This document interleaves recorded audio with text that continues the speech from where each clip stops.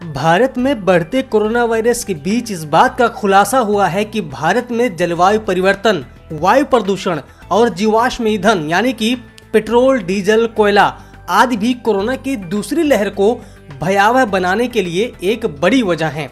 मशहूर अंतर्राष्ट्रीय magazine times में ये रिपोर्ट प्रकाशित हुई है। टाइम्स की रिपोर्ट के मुताबिक centre for science and environment की एग्जीक्यूटिव डायरेक्टर अनुमिता रॉय चौधरी ने बताया कि पिछली बार वैज्ञानिकों ने महामारी के शुरुआत में वायु प्रदूषण और कोरोना के संबंधों का खुलासा किया था।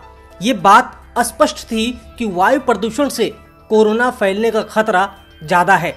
भारत में ऐसे कई शहर हैं जिनकी गिनती दुनिया के सबसे प्रदूषित शहरों में की जाती है।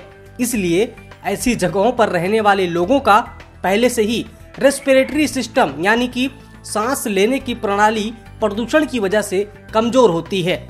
ऐसे में अगर ऐसे लोगों को कोरोना वायरस हो जाए तो उनके फेफड़ों की हालत खराब हो जाती है।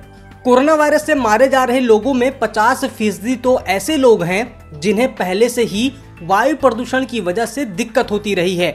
ये दिक्कत उन्हें हुई है गाड़ियों से निकलने वाले धुएँ से यानी कि पेट्रोल, डीजल और कोयला के जलने से।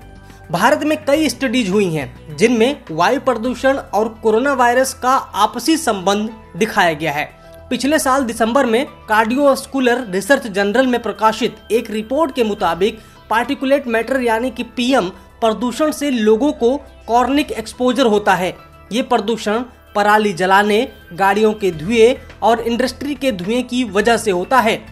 पूरी दुनिया में कोरोना वायरस से जितने लोग मारे गए हैं, उनमें 15 फ़ीसद पहले से ही वायु प्रदूषण की वजह से कॉर्निक बीमारियों के शिकार थे। जयपुर के Malviya national institute of technology में हुई एक स्टडी के अनुसार कोविड 19 के मामलों, वायु प्रदूषण और जलवायु परिवर्तन जैसे हवा और आर्द्रता आदि का आपस में सीधा संबंध है। दिल्ली में कोरोना की स्थिति गंभीर होने के पीछे इन सब का भी बड़ा हाथ है। ऐसी ही एक स्टडी वर्ल्ड बैंक ने कराई थी, जिसमें यह कहा गया था कि अगर पार्टिकुलेट मैटर से आपका एक्सपोजर एक फ़ीसदी बढ़ता है तो कोरोना से मरने की आशंका पाँच दशमलव सात फ़ीसदी बढ़ जाती है। वर्ल्ड बैंक की स्टडी में स्पष्ट तौर पर भारत की सरकार को सलाह दी गई थी कि देश के साफ़ सुथरे ईंधन की व्यवस्था तत्काल करनी होगी। यातायात से हो रहे वायु प्रदूषण को कम करना होगा।